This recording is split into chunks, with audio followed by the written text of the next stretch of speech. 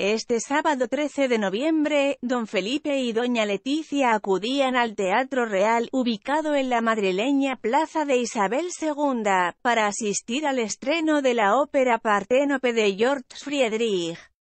Para tan sofisticada ocasión, en la que sus majestades presidían la primera versión española de dicha obra, la reina optaba por un acertado look de noche que siempre funciona.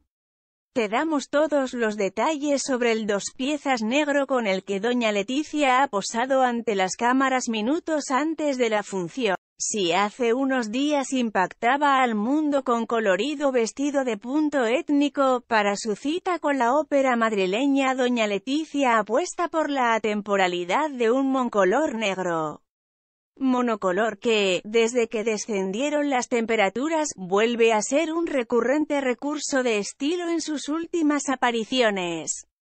En esta ocasión, se trata de un top negro con acabado brillante acompañado de un pantalón palacho de Carolina Herrera, que combinaba con unos salones del mismo color firmados por Magritte y bolso de mano de Tours también a juego. En cuanto al complemento beauty con el que ha decidido poner el broche de oro, hablamos de una coleta baja muy clásica, con raya central. Dicho peinado, que nunca pasa de moda, garantiza elevar el grado de sofisticación de cualquier look, así como ofrecer la posibilidad de apostar por piezas de joyería tan bonitas como los pendientes chandelier en oro blanco y diamantes de llanes que ha escogido doña Leticia.